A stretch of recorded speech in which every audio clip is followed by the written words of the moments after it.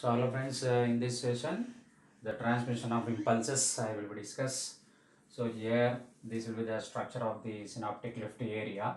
So one by one I will be explained. Uh, this will be the myelin sheath wrapped around the axon. Uh, we are discussing uh, in the axon terminal area. So here the transmitting of the impulse uh, direction is like this from the cell body, whatever the anterior portion of the neuron, the cell body is there through that uh, uh, axonal lap afterwards uh, through the axon. So final reach to the uh, terminal part of the axon that is nothing but synaptic knob we are calling. So afterwards what happening, how that neurotransmitter transmitting from the uh, one neuron of the axon synaptic uh, knob area to another neuron of the dendrites area. So we will discuss that part area. So here axon terminal we are calling axon terminal area. This will be and this will be this part of total presynaptic uh, area or presynaptic uh, membrane. This will be the postsynaptic membrane and here the synaptic cleft. These three are we are calling synapse. The synapse included presynaptic membrane, synaptic uh, cleft as well as the postsynaptic membranes. These three are presynaptic membrane, uh, synaptic cleft and postsynaptic membranes. So it will be having a special kind of receptors also there to observe that uh, whatever the signals and uh, here one by one I will be explained here the action potential invaded the presynaptic terminal area while uh, time of the impulses it will be reached to in this area. So afterwards uh, the transmitter is synthesized and then stored in the vessels so it will be a vessel type of structure is there in that transmitter uh, storing uh, happening. So afterwards uh, so here uh, calcium gated channels also there that uh, calcium will be influx influx of the calcium through channel so that will be creating the depolarization of presynaptic terminal causes opening of voltage gated channels. So whenever that uh, transmitters whenever the action potential it will be uh, reached to this area afterwards these uh, transmitters uh, is synthesized in the stored in the vessels area afterwards while moving time. That influx of the calcium uh, through channels happening that will be uh, leads to depolarization of the presynaptic terminal causes opening voltage gated channels. In this area opening of the gated channels happening.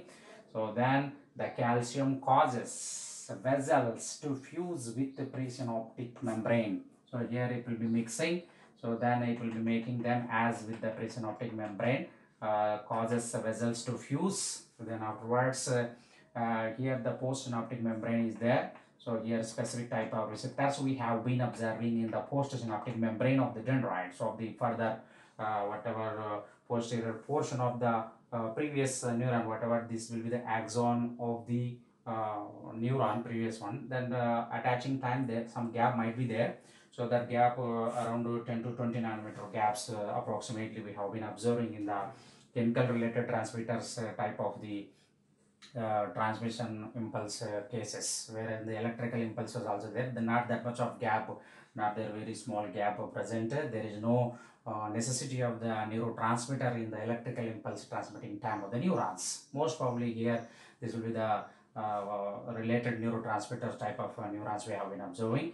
And here these uh, receptors also there. And generally in this area 10,000 molecules of the neurotransmitters we have been observing approximate number and here the transmitter binds to receptor molecules in postsynaptic uh, uh, membrane area. So whatever the transmitters uh, after reaching to this particular area it will be binding the specific receptors also there uh, channels and that will be activated afterwards absorbing the uh, whatever the transmitting message that impulse it will be in the and neurotransmitter acting as a mediator to observe that uh, message and uh, it will be acting as a mediator in the synaptic cleft areas and slowly it will be reached to the specific receptors whatever present on the dendrites of the neuron receptors and uh, it will be observing so so that uh, afterwards uh, removal of the neurotransmitters by glial uptake or enzymatic degradation. After finishing this process that whatever the neurotransmitters will be taken up by the glial cells. Uh, I told in the previous uh,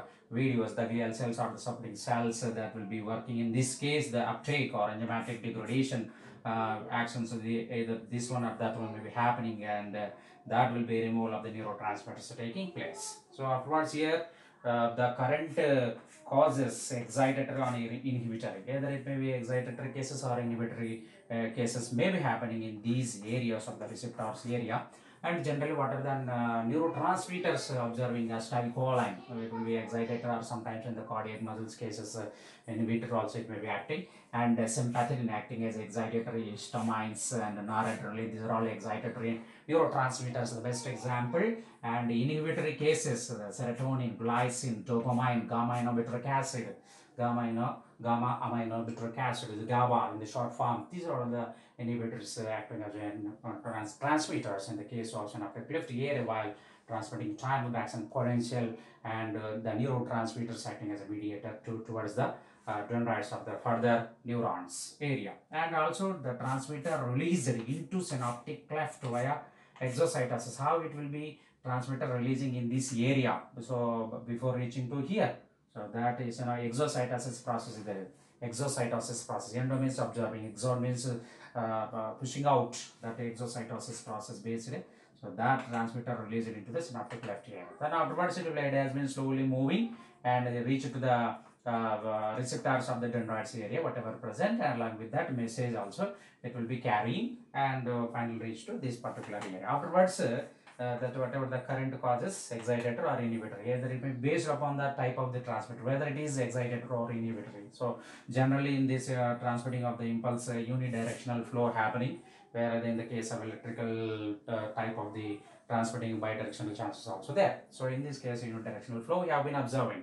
And uh, next all these things whatever magnetic sheet axon um, simple whatever the impulse transmitting reach to this area and uh, afterwards uh, forming of the neurotransmitters uh, with the vessels opening of the calcium gated channels reach to receptors area. All these things happening in this synaptic cleft area. So then uh, retrieval retrieval of the vesicular membrane from plasma membrane. Afterwards here after finishing uh, like, like this total process once again retrieval of the vessels uh, membrane from plasma membrane also it has been. Once again it will be making as like this the plasma membrane and retrieval vessels.